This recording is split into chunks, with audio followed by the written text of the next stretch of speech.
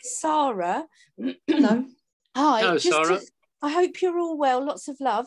Just to let you know that having sat in church, they can hear us all talk at the Oh, beginning. right.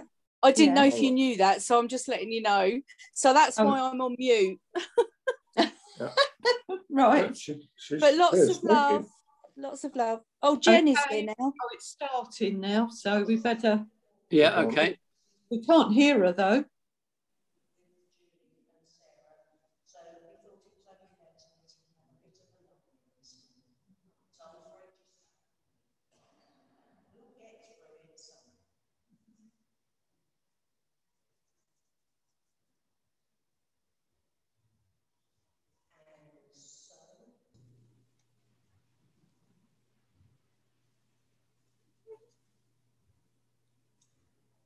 Alleluia, Christ is risen.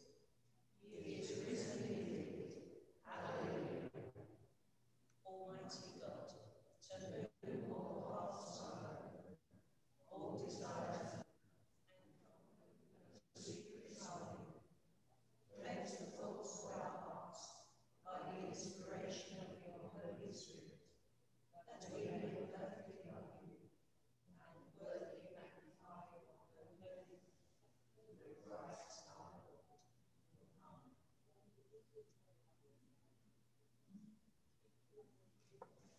Next, going to have the light up the world prayer.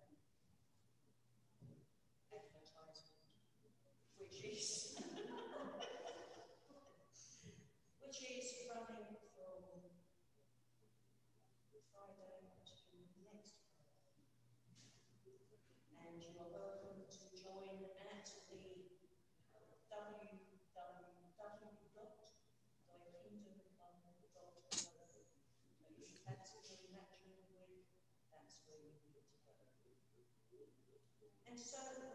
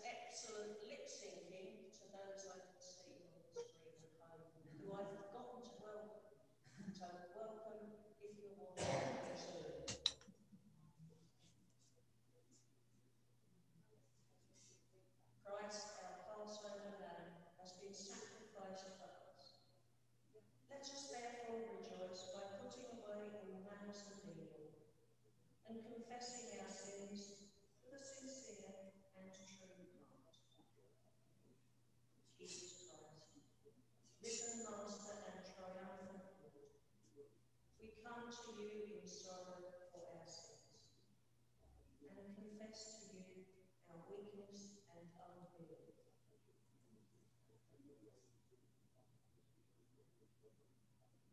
We have lived by our own strength and not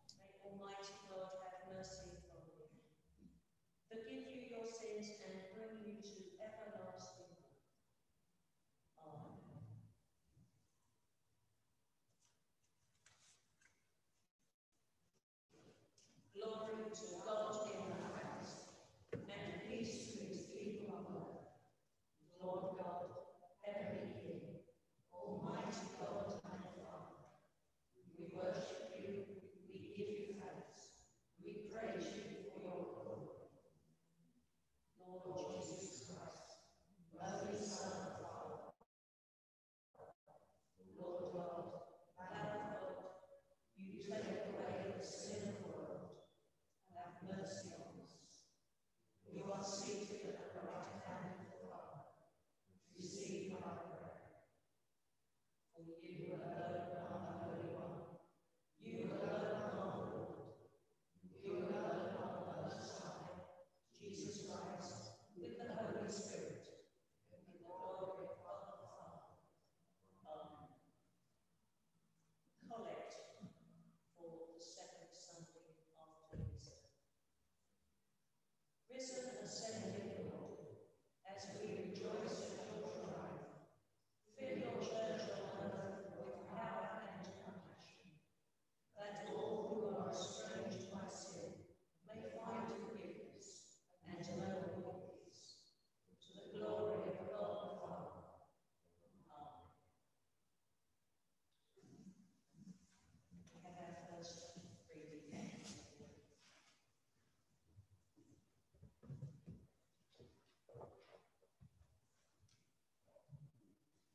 The first New Testament reading is from Acts 1, 15 to 17 and 21 to 26. Gentiles receive the Holy Spirit and are baptized. In those days, Peter stood up among the believers, a group numbering about 120, and said, Brothers and sisters, the scripture had to be fulfilled in which the Holy Spirit spoke long ago through David concerning Judas who served as guide for those who arrested Jesus. He was one of our number and shared in the ministry. Therefore, it is necessary to choose one of the men who have been with us the whole time the Lord Jesus was living among us, beginning from John's baptism to the time when Jesus was taken up from us. For one of these must become a witness with us to his resurrection. So they nominated two men, Joseph called Barsabbas, also known as Justus, and Matthias. Then they prayed, Lord, you know everyone's heart. Show us which of these two you have chosen to take over this apostolic ministry, which Judas left to go where he belongs. Then they cast lots, and they the lot fell to Matthias. So he was added to the eleven apostles. This is the word of the Lord. Thanks be to God.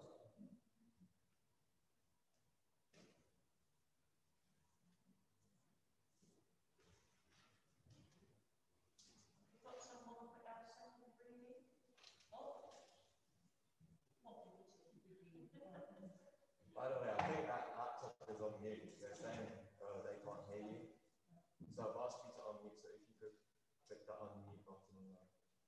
laptop. What'd you say? Oh, they're saying they can't hear you because. I don't know. It should, it should come up on the laptop because I've asked you to unmute. Okay, so if I press unmute, They should be able to hear you. They might correct that.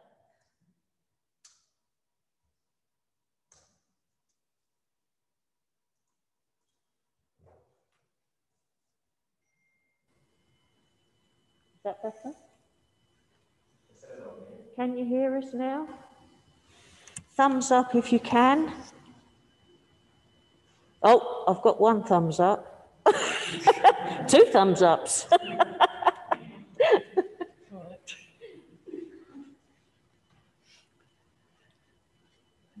The New Testament reading is from 1 John chapter 5, verses 9 to 13. God has given us eternal life in his Son. We accept human testimony, but God's testimony is greater because it is the testimony of God, which he has given about his Son. Whoever believes in the Son of God accepts this testimony. Whoever does not believe God has made him out to be a liar because they have not believed the testimony God has given about his Son. And this is a testimony God has given us eternal life, and this life is in his Son. Whoever has the Son has life. Whoever does not have the Son of God does not have life. I write these things to you who believe in the name of the Son of God, so that you may know that you have eternal life. This is the word of the Lord. Thanks be to God.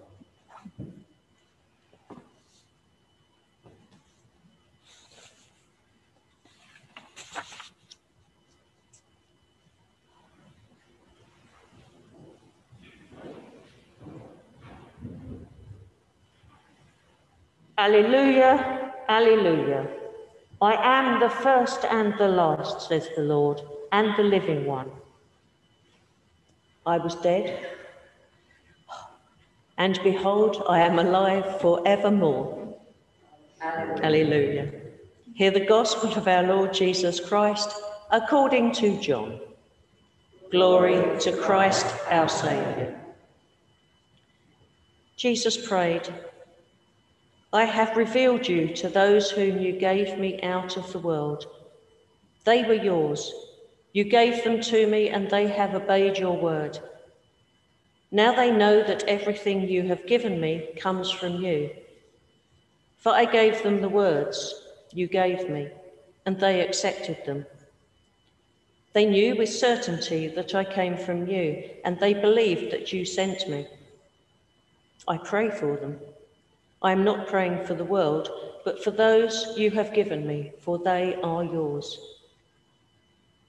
All I have is yours, and all you have is mine. And glory has come to me through them. I will remain in the world no longer, but they are still in the world, and I am coming to you. Holy Father, protect them by the power of your name, the name you gave me, so that they may be one as we are one. While I was with them, I protected them and kept them safe by that name you gave me. None has been lost except the one doomed to destruction, so that scripture would be fulfilled. I am coming to you now, but I say these things while I am still in the world, so that they may have the full measure of my joy within them. I have given them your word, and the world has hated them, for they are not of the world any more than I am of the world. My prayer is not that you take them out of the world, but that you protect them from the evil one. They are not of the world, even as I am not of it. Sanctify them by the truth. Your word is truth. As you sent me into the world, I have sent them into the world. For them I sanctify myself, that they too may be truly sanctified. This is the gospel of Christ. Praise to Christ our Lord.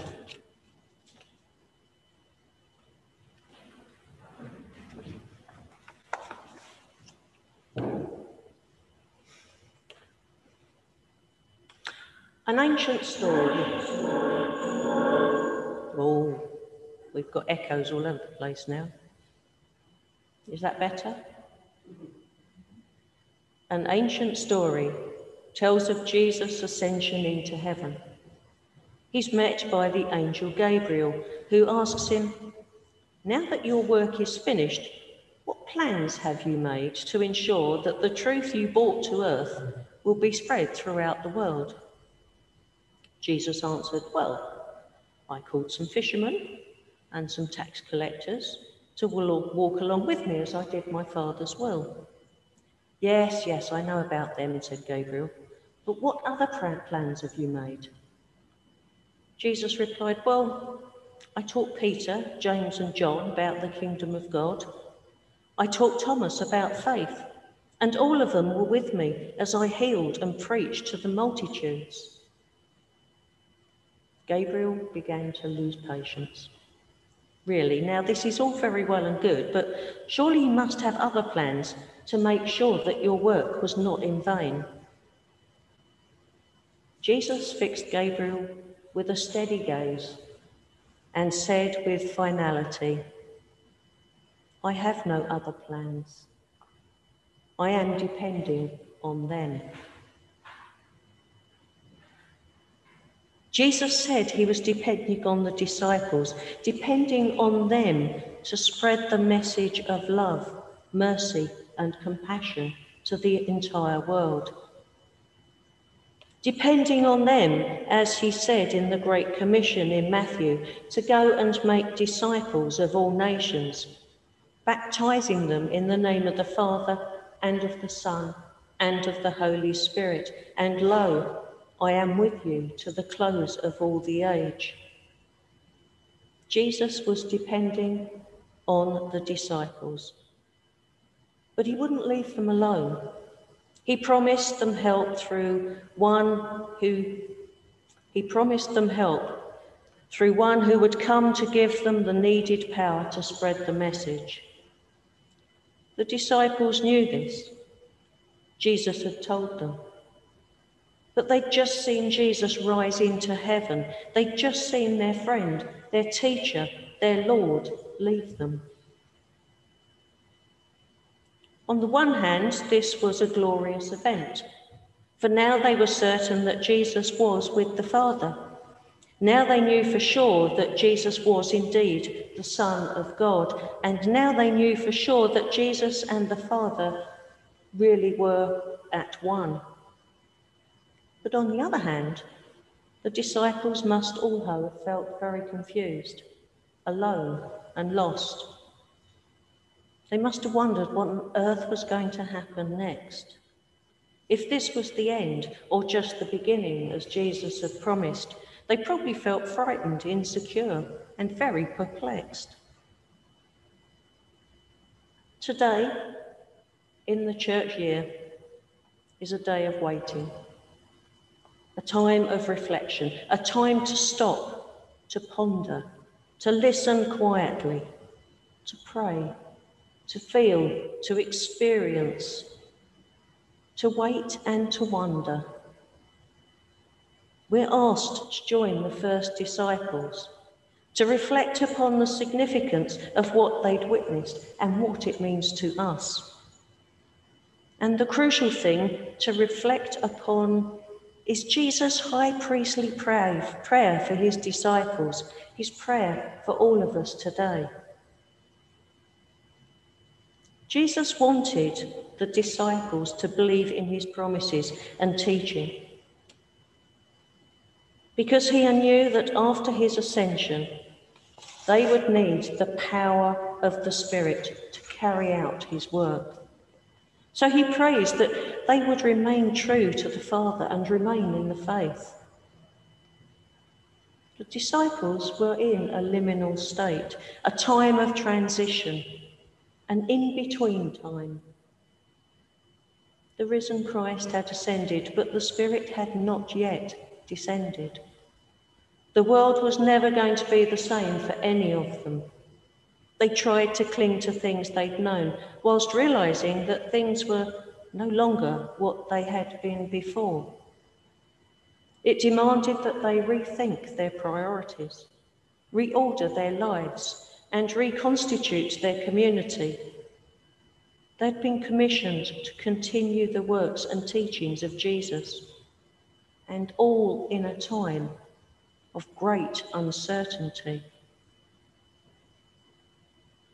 It would have been so easy for the disciples to forget all that Jesus had taught them, to go back to the fishing boats thinking it was all over, reasoning that it was good while it lasted, but Jesus is gone and we're alone. There's nothing more for us to do. Let's go back to something we know, something we can do. In their fishing boats, disciples would be back in familiar territory. They'd know how to harness the power of the wind to sail the boat. They would have the knowledge and the wisdom to use the power and the equipment. They could have easily cast off and set sail out into the waters. But the disciples had been given a new job to do. They had the power from Jesus. They had the mission spelled out, they had the tools at hand, but they didn't know how to use them. They didn't know how to set sail. They were out of their comfort zone and in unfamiliar territory. They needed the Pentecost experience. They needed the guidance of the Spirit and they needed the power of the Spirit to get their boat sailing in the breeze. Jesus prayed that while they waited for all this, they would be drawn together before they started properly in their mission, that they wouldn't lose faith, that they would remain in the Father. We can learn much from this sequence of events. Jesus also prays for us to remain in the faith as we face the in between times of our lives. Jesus may have departed from this world, but not without radically transforming it, and not without leaving reassurance of God's love and protection for those who remain in faith. It's quite a tender moment. Jesus prays for us. He prays that we might be upheld and embraced in God's unfailing love as we journey through our earthly life. Jesus knew the obstacles and the challenges that we would face, the disappointments, the failures, the hostility, the sadness, the darkness that we all might experience. He prayed for us that we might live in the love that He initiated and allow it to radiate from us. He prayed that the world would remain in faith and remain true to our Heavenly Father. We live in this world and to be in this world fully committed to its duties and opportunities, but not conformed to its values. It's not an easy task. How to hold these two senses in balance isn't a new problem. It existed in the New Testament, keeping the worldly in tension with the unworldly. We are required to go on living in this world for our allotted time. But as Christians, we live in this world believing that this isn't our final destiny. But that when our time comes, we too will take our place in the eternal kingdom. All of us, at some time have experienced insecurity in our faith. When we're not quite sure what's going to happen next, not quite sure what the future holds for us, not knowing where we're going to get the strength to carry on. It's in these kinds of situations that these words of Jesus cry out to us. When we're in darkness, when we face uncertainty, when we cannot get our boat sailing, that is when Jesus' prayer is a poignant reminder that we still have a relationship with Christ. We still have faith. We are still embraced in God's love and protection. He says, remain in faith and believe in me. I will give you the power to see you through. I will be with you. As those words were comforting to the disciples, they are also comforting to us. As a church, we are charged to carry on the commission given to the disciples. We have all the power from Jesus. We have our mission spelled out. We have the tools at hand. But like the disciples, we don't always know how to use them. We don't always know how we can set sail. And like the disciples, we're drawn together as Christ's body to support, encourage, and pray for each other. And God's Spirit is here among us. We aren't left alone. So, this in between time allows us time for reflecting on all that God has done for us and taught us through Christ. A time for prioritizing and reordering. A time for experiencing the very real touch of Christ in our lives. And a time for remembering that Jesus prays for us. Jesus has no other plans. He's depending on us. But how ready are we to rise to the challenge? Amen.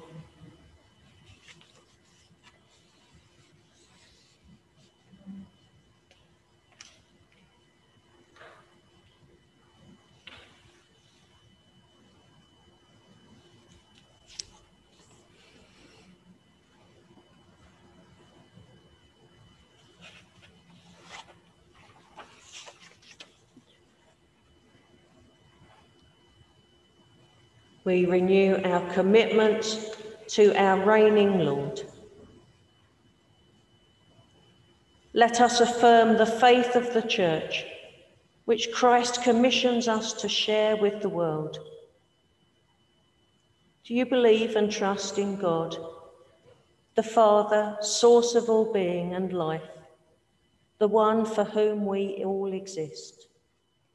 I believe and trust in him. Do you believe and trust in God the Son, who took our human nature, died for us, and rose again? I believe and trust in him.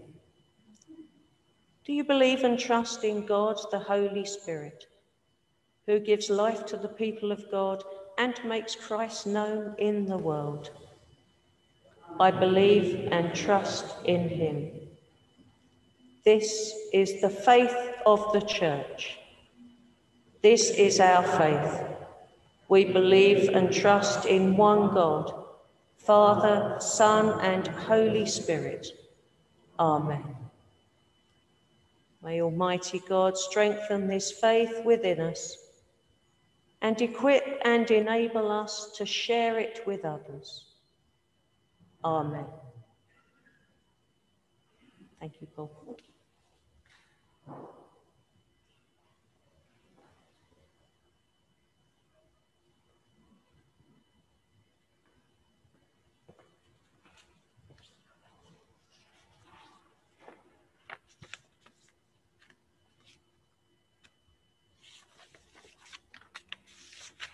We pray for the church and for the world.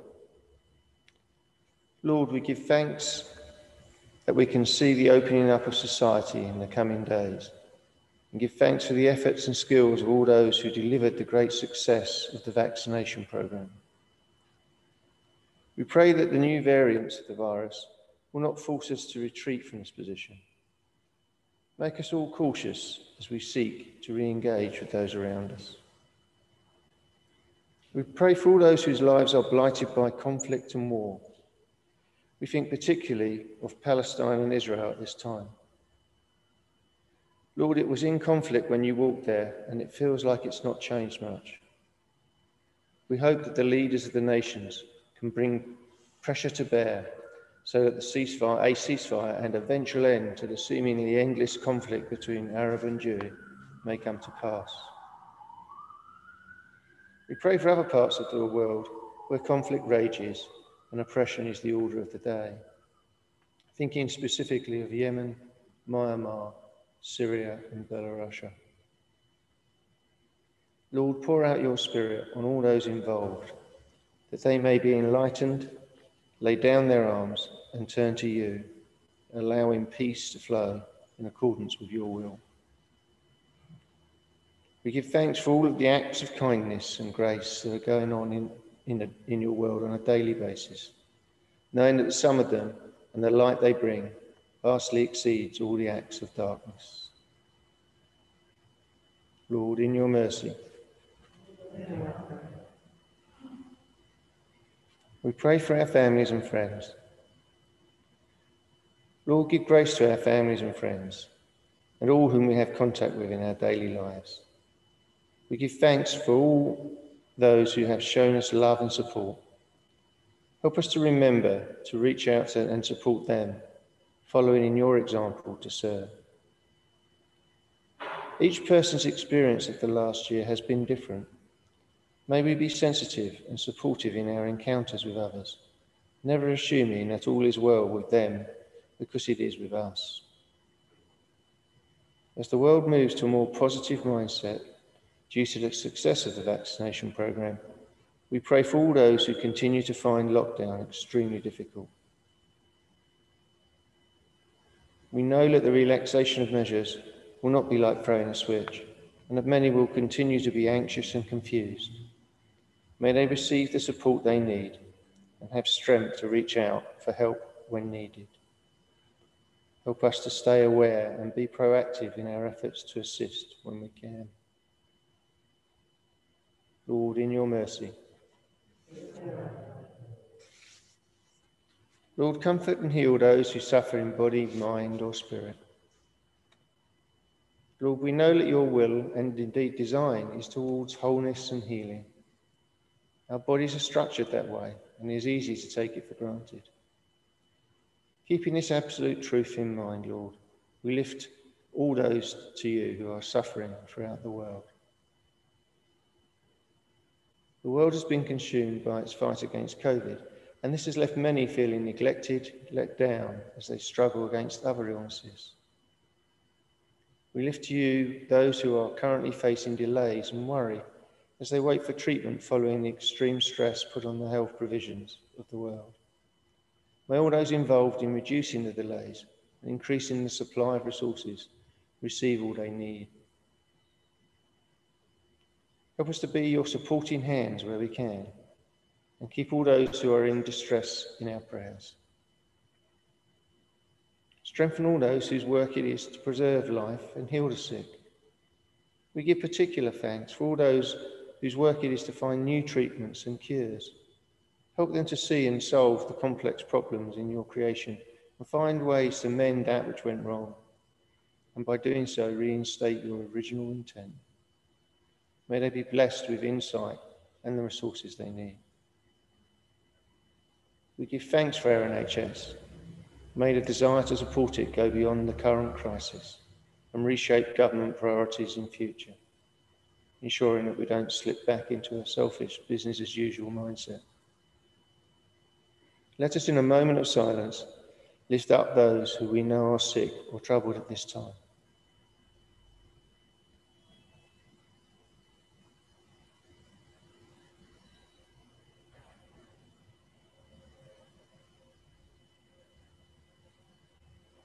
Lord, in your mercy. We pray for those who have died and those who mourn them. The virus has killed more than twice the total UK civilians who lost their lives in the Second World War. If each soul was mourned by 10 others, then we are living in a land with two and a quarter million fellow citizens who are grieving.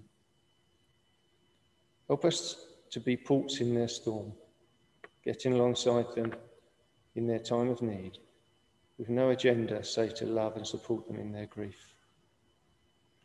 Lord, comfort those who are going through the confusion and pain that bereavement brings. Help them to know that they are not alone and lean on you at this time. In a moment of silence, let us lift to God those who we know have been recently bereaved.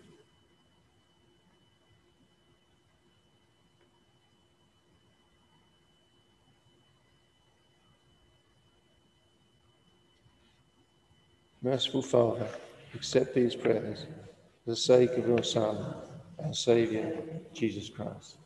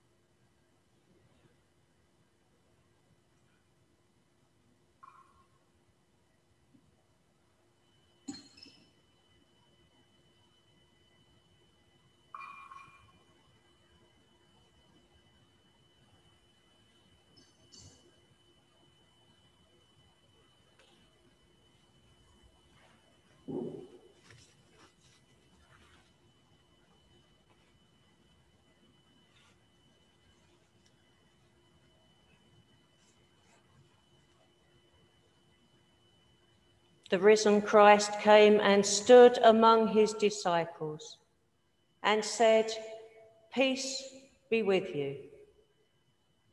And they, when, they were glad when they saw the Lord. The peace of the Lord be always with you. So let's turn round and give each other a cheery wave of peace. A cheery wave of peace to you at home as well. now, can you still hear me at home? Only we, we had a bit of a squeaking noise. Well, wasn't even squeaking noise going on.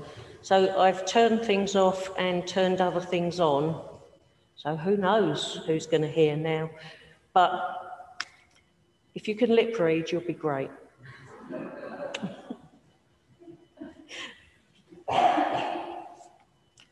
The Lord is here. Lift up your hearts. We give thanks to the Lord our God. It is Right to give thanks and praise. It is right to praise you, Father, Lord of all creation. In your love, you made us for yourselves. When we turned away, you did not reject us, but came to meet us in your Son. You embraced us as your children and welcomed us to sit and eat with you. In Christ, you shared our life that we might live in him and he in us. He opened his arms of love upon the cross and made for all the perfect sacrifice of sin. On the night he was betrayed, at supper with his friends, he took bread and gave you thanks. He broke it, gave it to them, saying, Take, eat. This is my body which is given for you. Do this in remembrance of me. Father, we do this in remembrance of him. His body is the bread of life. At the end of supper, taking the cup of wine, he gave you thanks and said, Drink this, all of you. This is my blood of the new covenant, which is shed for you and for many for the forgiveness of sins. Do this in remembrance of me. Father, we do this in remembrance of him. His blood is shed for all. As we proclaim his death and celebrate his rising in glory, Send your Holy Spirit that this bread and this wine may be for us the body and blood of your dear Son. As we eat and drink these holy gifts, make us one in Christ, our risen Lord. With your whole church throughout the world, we offer you this, our sacrifice of praise and lift our voice to join the eternal song of heaven. Holy, holy, holy Lord, God of power and might, heaven and earth are full of your glory. Hosanna in the highest. Let us pray with confidence as our Saviour has taught us. Our Father, who art in heaven, hallowed be thy name. Thy kingdom come, thy will be done, on earth as it is in heaven. Give us this day our daily bread, and forgive us our trespasses, as we forgive those who trespass against us. And lead us not into temptation, but deliver us from evil.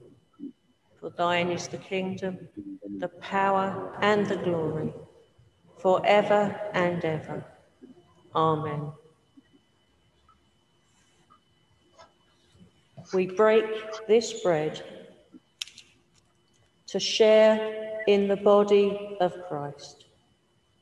Though we are many, we are one body because we all share one bread.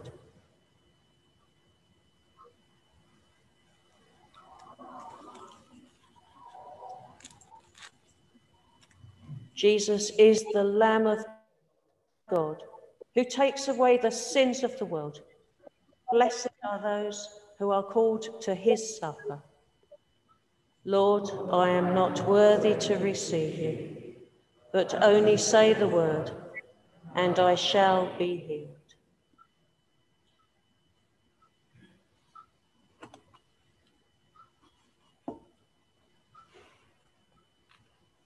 If the people in church would please remain seated during the distribution and those people at home sing along to a nice piece of music we're about to play for you.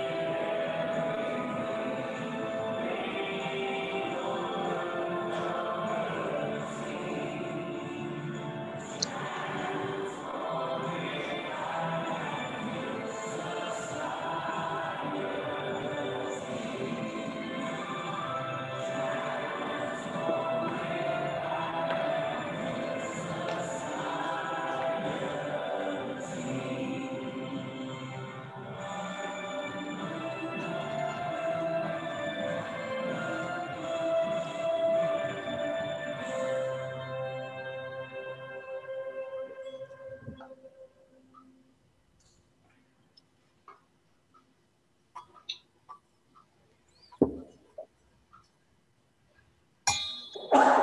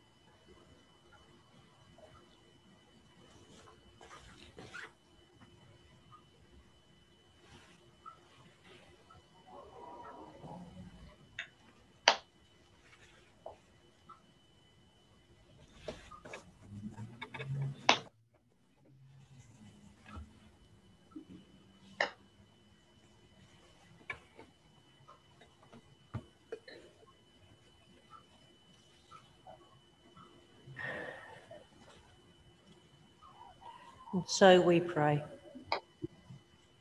God, our Father, whose Son, Jesus Christ, gives the water of eternal life, may we thirst for you, the spring of life and source of goodness. Through him who is alive and reigns now and forever. Amen. We pray together. Almighty God, we thank you for feeding us with the body and blood of your Son, Jesus Christ. Through him we offer you our souls and bodies to be a living sacrifice. Send us out in the power of your Spirit to live and work to your praise and glory. Amen. Notices. They are as written up there. Christian Aid Week is finishing today. Yes, it is. Um, so if you've had an envelope and you don't quite know where to put it, um, there's a bucket on your way out, or you can drop it through the vicarage door. I am assured that Poppy won't eat it. Uh, home group is on Monday. Is that your one, Diana? Yeah? Zoom. You're Zooming on Monday. Mothers Union meeting on Zoom. On Zoom on Tuesday. Coffee and chat in reality. Wow. God, it's a long time since we've been able to say that, isn't it? and next Sunday is a very important Sunday because it's the church APCM or the AGM as it used to be called in previous. It's when all the, the legal and important stuff gets voted on uh, your new church wardens get voted in and sides people and things like that. If you can't attend and actually be here, then please try and join on Zoom if you can. So the way that we're getting around it is having the APCM as part of the church service. And the two will then go hand in hand, as no doubt you remember from last year. Are there any other notices that anyone can think of? No? Fantastic. And so we go on to the Light Up the World with Prayer again. Again, please join if you would like to during the week on the uh, website advertised. And now we're going to have our final hymn, which is Crown Him with Many Crowns.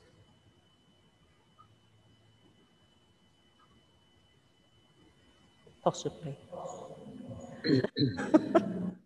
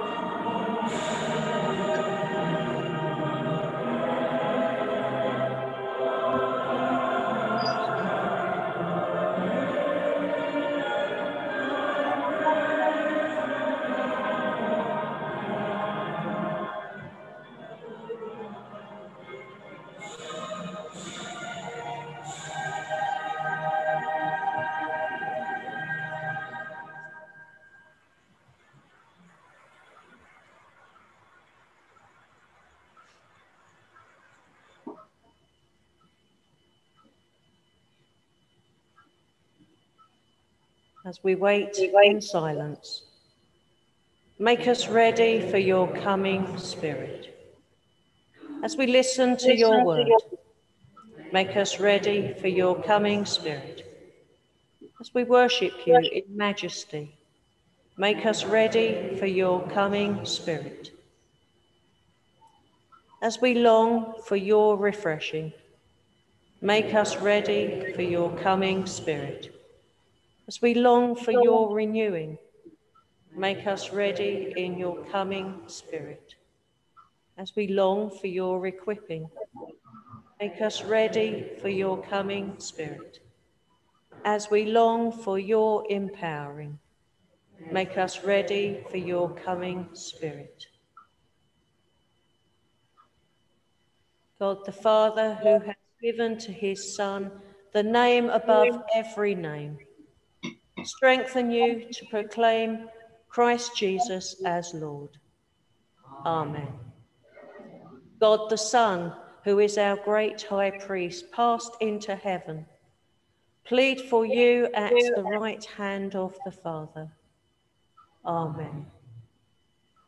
God the Holy Spirit, who pours out his abundant gifts upon the church, make you faithful servants of Christ our King. Amen. And the blessing of God Almighty, the Father, the Son, and the Holy Spirit be upon you and those you love, the living and the departed, now and forevermore. Amen.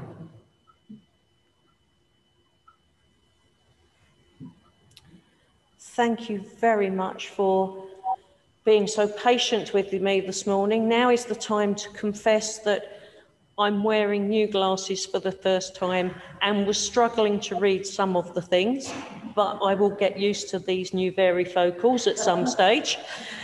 And a confession I've not actually conducted a service for what must be nearly two years. So, and this is my first one here.